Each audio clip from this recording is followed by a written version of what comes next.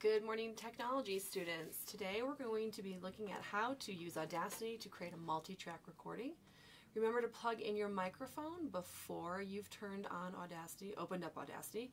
As you can see right here, Audacity's caught my microphone, so we're ready to go. The very first thing you need to do is to generate a click track. Now I've been messing around with this for a few years and there's many different ways to do it, but I find it's best to do the click track to help you stay aligned so that you're not listening to the tracks that you record as you're recording because it tends to cause phasing and distortion in the tracks. So we're going to go ahead and click um, generate the click track.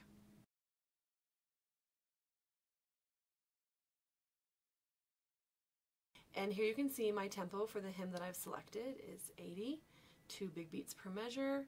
And you just want to have enough measures to get through recording it. I've put in 25. You can put in whatever you need, um, but I would leave you some extra measures so that you have a few measures to kind of get set up on your instrument. So there's our click track. And you can click on it to hear it.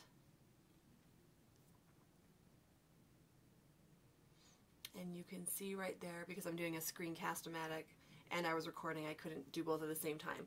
But you can see right there in the bar that it's nice and loud. So we're ready to record our first track, or basically the first part of the hymn that you want to record. I'm starting with the soprano part.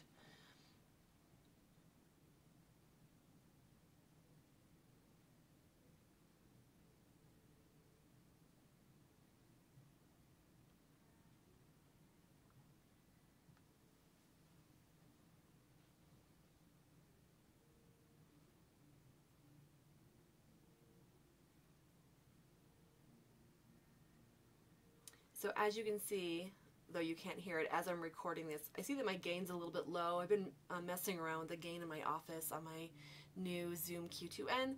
So it's a little low, but that's okay because after all the tracks are in, you can adjust the individual volume of the tracks to change um, your balance. It's a very, very simple thing to do.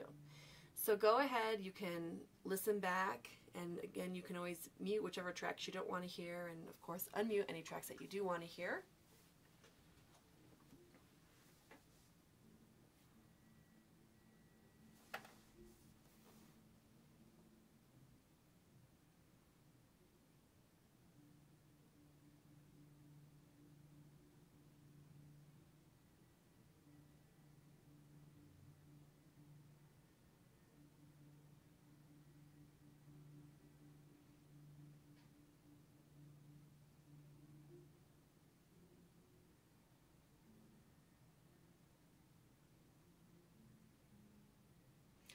So I've gone ahead and I have muted the track I already recorded so that it won't phase out with the new track that I'm currently recording. You can see that I went ahead and adjusted the gain on my microphone because I'm using the Q2N. I cannot adjust that gain in Audacity. I have to do it on the microphone.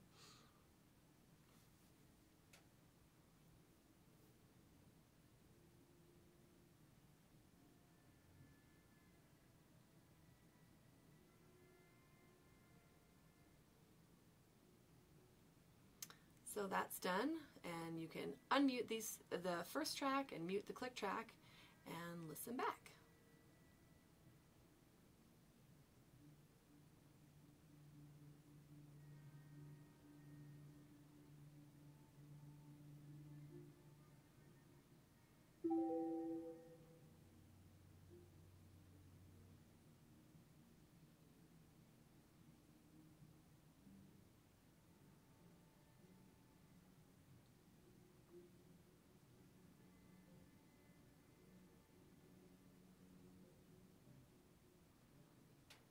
Okay, so ready to record again, which means time to mute both the recorded tracks, make sure your click track is going, and record.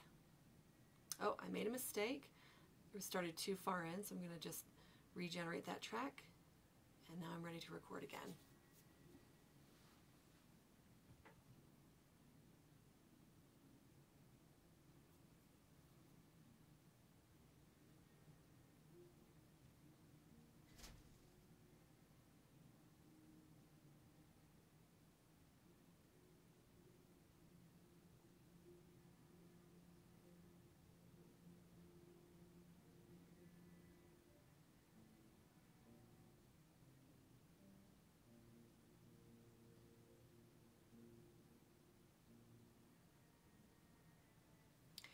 And now the final track recording.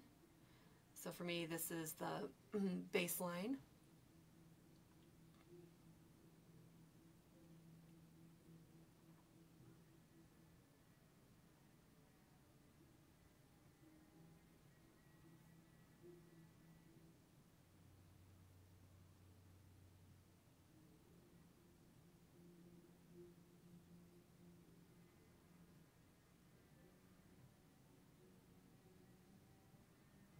And I actually held over on that track a little bit far, but I'll show you how to fix that.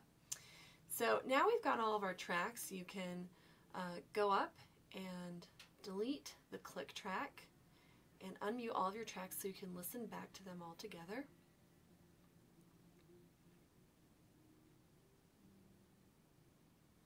So I'm unmuting here. I'm going to delete my click track because we don't need that anymore. Okay, we've got all of our tracks. And as I listen back, I'm going to hear, of course, that my first track, my soprano track, is not well balanced because I really went for it with my bass track.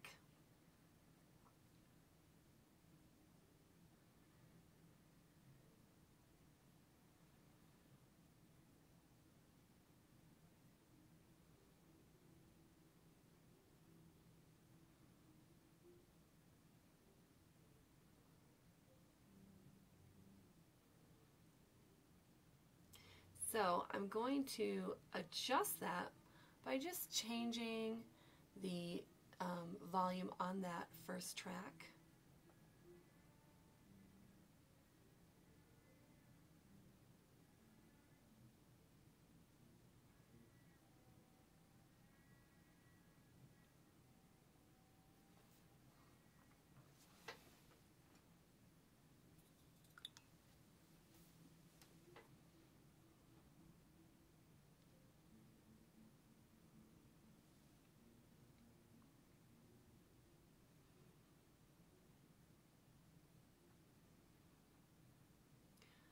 I'm still a little dissatisfied, so I'm going to bump that volume up just a little bit more so I really get a prominence of sound in my soprano track. Now I've also noticed that I really hung over on that last note on the bass line, so I'm going to go ahead and just kind of delete out a, a, a moment, a second or two of this so that it cuts off better with the rest of the tracks. It might actually sound funny in the individual track, but with the other three tracks, it, it will be unnoticeable.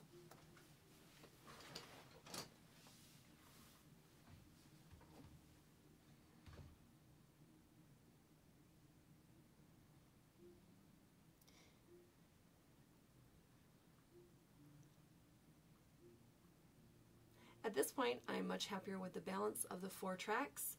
I am noticing in the meter that I'm getting into the red, but as I listen to it on my speakers, I'm not hearing any distortion. So I'm probably just going to leave it alone. Um, I could go in to um, the effects and level them or normalize them, but for our purposes, it's it sounds fine, so I'm probably just going to leave it.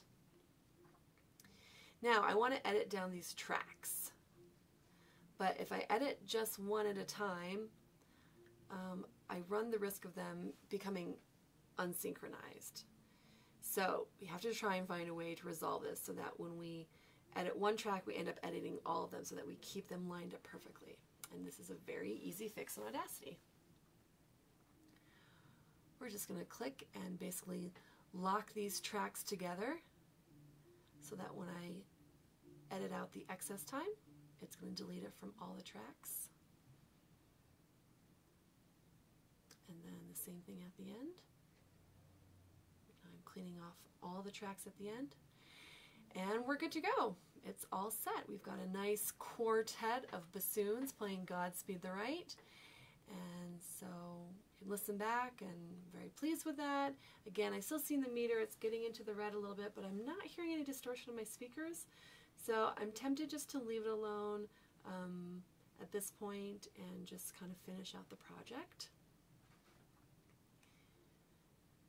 I can turn the playback down a little bit, but even that's not going to have a huge effect on um,